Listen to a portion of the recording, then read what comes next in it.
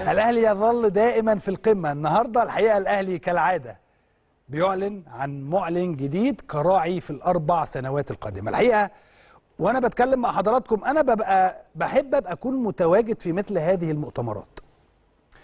ليه بحب أبقى أكون متواجد في مثل هذه المؤتمرات؟ والحقيقة ما ببقاش يعني داخل في وسط الناس بسلم طبعا على كل الناس وبنقعد مع كل الناس ولكن أقصد إن أنا بحب ألاحظ أكتر إيه اللي بيحصل علشان أشوف عظمة الأهلي عشان أشوف تاريخ الأهلي عشان أشوف إحنا ليه دايما بنبقى فخورين بالأهلي؟ الحقيقة النهارده أنا كنت قاعد بلاحظ كل ما يحدث داخل المؤتمر الصحفي.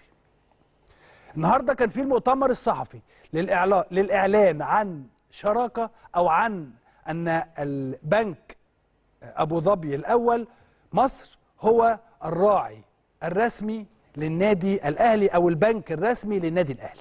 زي ما حضراتكم شايفين وإحنا بنتكلم كابتن محمود الخطيب الأستاذ محمد عباس رئيس التنفيذي للبنك الأستاذ محمد يحيى الرئيس التنفيذي لشركة أو رئيس مجلس إدارة شركة المتحدة للتسويق المهندس سيف الوزيري رئيس مجلس إدارة شركة Presentation ورئيس مجلس إدارة شركة استادات الوطنية. هذا الرباعي كان متواجد على المسرح زي ما حضراتكم شايفين وكان الدكتور سعد شلبي وحد من طرف البنك أيضا متواجد لتوقيع على مذكرة أو على عقد الرعاية أو إن البنك بنك أبو ظبي الأول مصر سيكون هو البنك الرسمي للنادي الأهلي خلال الفترة القادمة. وبالتالي أنا كنت من الناس اللي قاعدة بتتفرج على إيه اللي بيحصل.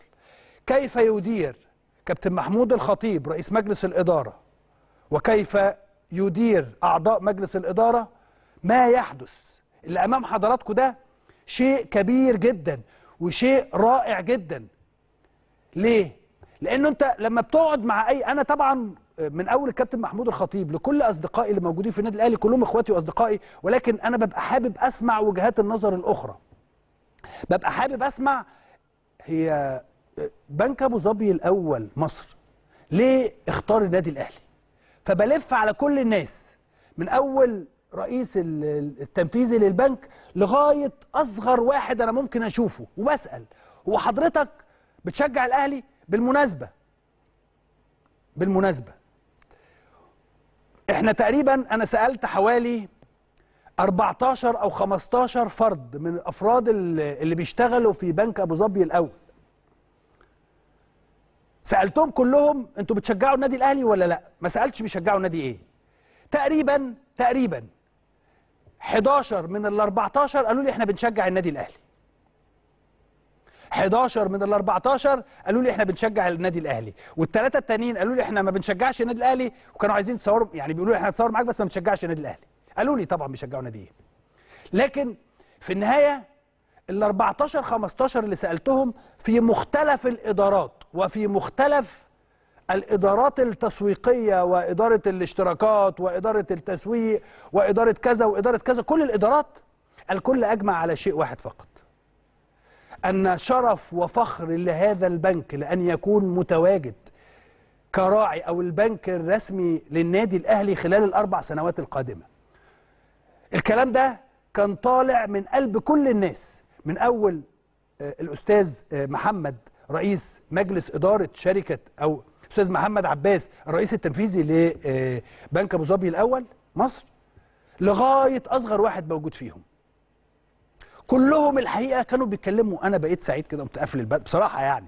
كنت لابس جاكيت قمت قافل الجاكيت كده وقاعد بسمع بمنتهى الفخر وبمنتهى الاعتزاز باسم النادي الأهلي. ليه؟ لأن كل اللي حضراتكم شايفينهم أمامكم كلهم ناس كبار وعظام ولهم مناصب كبيرة جدا في سواء في البنك أو في النادي الأهلي. لكن كلهم بيتكلموا في شيء واحد أن وجودنا مع مؤسسة النادي الأهلي حاجة تكبر مننا خدوا بال حضراتكم من الكلام. وجودنا مع مؤسسة النادي الأهلي حاجة كبيرة جدا جدا بالنسبة لنا. اللي ما بيشجعوش الأهلي أكتر من اللي بيشجعوا الأهلي. في الكلام مش في العدد. العدد كان 11 ل 3 ومنهم حد ما كانش بيشجع الأهلي من الثلاثة يعني كان بيشجع ناديين. المهم يعني. فاللي بقوله إن هم كانوا الثلاثه دول والله أقسم بالله كانوا مبسوطين أكتر من ال11 اللي بيكلموني بمنتهى الاحترام وبمنتهى الفخر وبمنتهى الاعتزاز عن هذه الشراكة مع النادي الأهلي. فأنا بقيت بصراحة واقف مبسوط واقف مستمتع واقف سعيد إن أنا بسمع هذا الكلام. النهارده وفي يوم برضو الإعلان عن الشراكة الاستراتيجية مع اتصالات مصر كنت بسمع أكتر ما بتكلم. كنت بسمع عشان أجي أقول لحضراتكم لماذا دائما النادي الأهلي. الأهلي هو الأكثر شعبية وجماهيرية. الأهلي هو الأكثر بطولات 144 بطولة. الأهلي الأكثر مشاركة في كأس العالم للأندية من حيث عدد المباريات لأنه النادي الأهلي هو نادي القرن الإفريقي. الأهلي الأكثر امتلاكا للمتابعين على مواقع التواصل الاجتماعي. الأهلي الأكثر احترافا في الإدارة. الأهلي الأكثر استقرارا ونجاح إداري. الأهلي الأكثر أكتر نادي عنده رعاة بيطلبوه بالاسم. لأنه كل اللي أنا قلته أو كل اللي فات إن بيؤدي إلى شيء إن كل الشركات الكبرى والمؤسسات الكبيرة في مصر تسعى لشيء واحد فقط هو عمل شراكة استراتيجية أو شراكة مع النادي الأهلي. كل واحد كل شراكة على حسب مسماها. هنا قد تكون شراكة عشان الرعاية هنا قد تكون شراكة استراتيجية زي اتصالات مصر أمور كثيرة جدا. لأنه بيلاقوا شغل احترافي. حضرتك مش هتلاقيه غير في النادي الأهلي. حضرتك مش هتلاقيه غير في النادي الأهلي. فخامه وعظمه اسم الأهلي تشوفها في هذا المؤتمر الصحفي. ابقوا شوفوا المؤتمرات التانية بتتعمل إزاي عشان تعرفوا وتبقوا فخورين باسم النادي الأهلي. خليك دايما تبقى فخور وسعيد ومبسوط وفرحان بإن أنت بتنتمي ولو أعمل زي جوزيه كده لما كان بيعمل لنا كده زمان. بيعمل لنا حتى لو أنت لو أنا أنا بتكلم عن نفسي لو أنا صفر جزء بسيط صفر قد كده على الشمال وأبقى بس بتمسح في اسم النادي الأهلي. فالأهلي هو فخر الرياضة المصرية في المنافسات والبطولات والتنظيم والأمور الإدارية. عندنا أخطاء طبعا مفيش نادي في الدنيا ما عندوش أخطاء.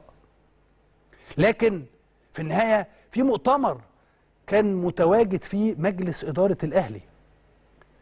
آه مفيش حد يقول لك أنا عملت.